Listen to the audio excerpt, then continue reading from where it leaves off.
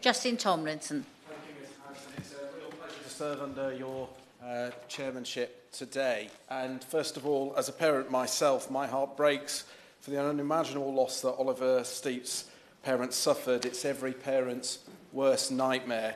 And I want to pay tribute to the Honourable Member for Newcastle upon Tyne North, who was passionate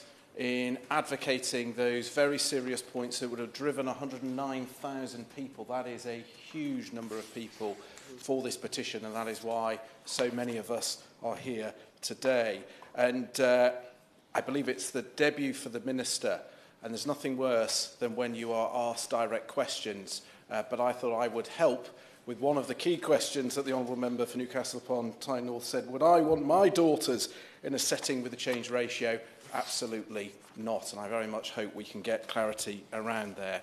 But first of all, I want to pay uh, tribute to the new minister who was kind enough to come and visit my constituency on Thursday. She came to Imagination Childcare Nursery in Morden, a fantastic nursery, and I can tell you the owner, Becky Cruz, and her wonderful team were incredibly proud because the minister not only took time to tour all of the rooms, engage and interact with the children, including uh, uh, biscuit decorating with my own daughter, Margot, who was very excited to meet one of uh, my London office friends.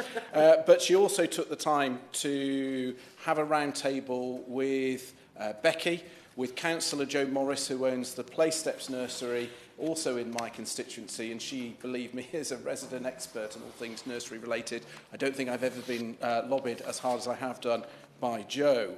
And it was a real opportunity, and I've, I've hosted countless ministerial and shadow ministerial visits over the years, but generally the minister was willing to listen, yeah. to be challenged, to take on board, and even though she was so new to the brief, had a, a complete oversight of the things coming forward. And I am very excited for her response to this debate. No pressure there. And it was the uh, principle of challenges and opportunities that, that we covered. And, and first of all, the key one that has been discussed today around ratios. And I echo the comments that the Honourable Member for Newcastle upon Tyne North has made in this area. I'm in complete, total agreement on that area. And I think we should just simply rule out those changes. And I think it's telling that if Scotland is held up as some sort of uh, panacea of, of brilliance, where are the Scottish MPs today to advocate how well that has gone? And I pay tribute to the National Day Nurseries Association, who've done some uh, detailed research, which was you know, pretty black and white in terms of 90% of providers uh, find it hard to recruit level three staff, and 52% of staff who are thinking of leaving and are unhappy are because of uh, the workload. And clearly, if you change those ratios, the workload goes up, and my honourable friend for Winchester uh, was absolutely on the money when he talked about how hard it is when there's two parents going for two people. How on earth do they do it day in, day out? And if we change those nurseries. And actually, we saw on the visit the big challenge comes, uh, particularly in those ages, where toilet training, which then requires them to be taken out of the room. So those eyes. Uh, on the prize are not actually in that room and the children don't necessarily all time them on on uh, set breaks uh, believe me we know Uh, and, and therefore, I just think this, uh, it's all about quality, and I cannot see a single argument that would say that this would improve quality. And uh, for all of us, we all visit our local schools. And particularly if you talk to primary schools, the emphasis they put on uh, where children are in terms of their expected levels, those early years are so incredibly important. And to catch up further down the line uh, is incredibly difficult.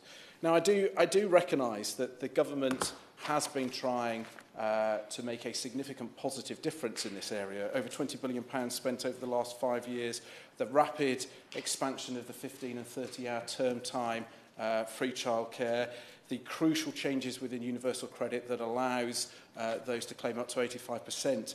of childcare costs have been a real game changer to help get more people, more working parents uh, back into work with greater flexibility. However, there is still the funding challenge around predominantly these are relatively low paid jobs.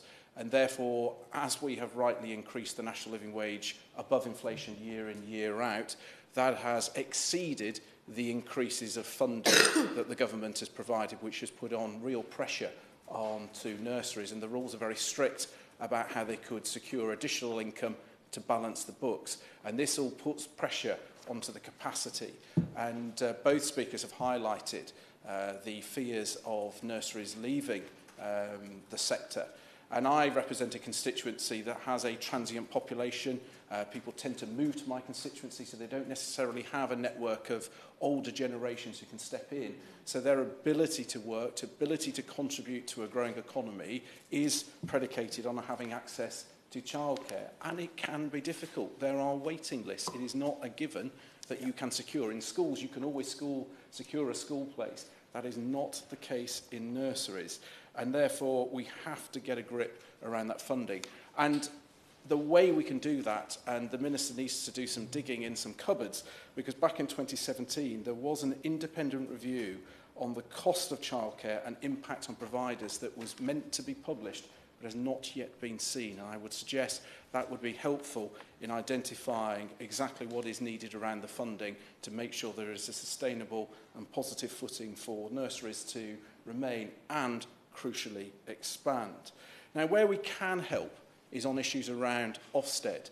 It was highlighted, not unreasonably, that that is a, a real fear factor for staff. One day every four or five years, they will be reviewed. It transpires not all children perform uh, with the tasks that they're presented with on the days where the inspections come on, which puts big pressure onto the nurseries who could have had uh, 364 days in the rest of the year where all of those tasks went really well and looked good to an inspector, but on the day they come in, that can then make a crucial difference. And there was a feeling in our roundtable discussion that there needed to be greater consistency so that when the inspections came in, everybody knew what was expected and then they would be reviewed on that. A greater emphasis, or perhaps a sole emphasis, around safeguarding uh, to make sure that that is the priority and just giving the whole system that confidence that it is uh, consistent and fair and that those nurseries who are doing an amazing, wonderful job are then uh, recognised for that. We also need to play fair between school-based nurseries and nurseries yeah. in independent settings. I've raised before uh, in uh, parliamentary questions in the main chamber around the fact that um, standalone nurseries are uh, have to pay business rates. Yet if a nursery is based in a school setting, then they don't have to pay business rates. And uh, yet a standalone nursery surely is an educational setting because it's Ofsted rated. And so that is inconsistent and unfair.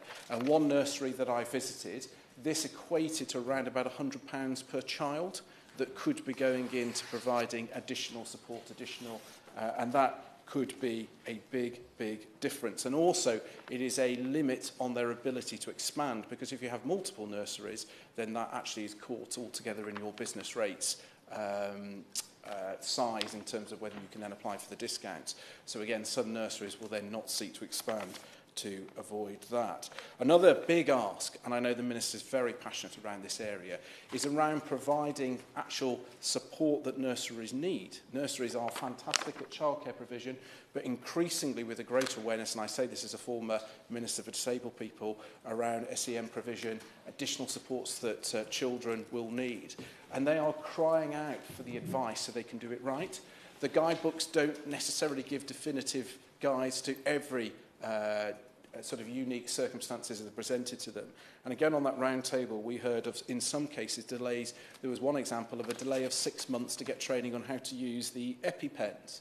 So in reality, a nursery would either have to take the risk or would have to say to that, that child, and crucially those parents, we can't, um, we can't take on your children for six months. Uh, with the consequences were there Too often there's backlogs in accessing the uh, diagnosis and it is a frustration to the uh, nurseries that they are day in, day out working with the children and they're often first to uh, identify additional support that's needed. But they aren't given greater weight in the process. There should be a two-track uh, process so they can feed directly in. They could populate much of that evidence. That would actually take some of the pressure off the, uh, the system that's trying to deal with those backlogs. And uh, finally, uh, both Becky and Joe highlighted if there was the better support in place, greater consistency, some movement on the funding, and we didn't go down that path around the ratios, they are both desperate to expand because their respective nurseries are full. And again, going back to my honourable friend's uh, powerful speech from uh, Winchester around that if we're going to support a growing economy, we need to provide this provision for an increasingly flexible uh, workforce then we need people like the, Becky and Joe who've got amazing nurseries to be able to expand. We all benefit from that. Thank you. Yeah, yeah.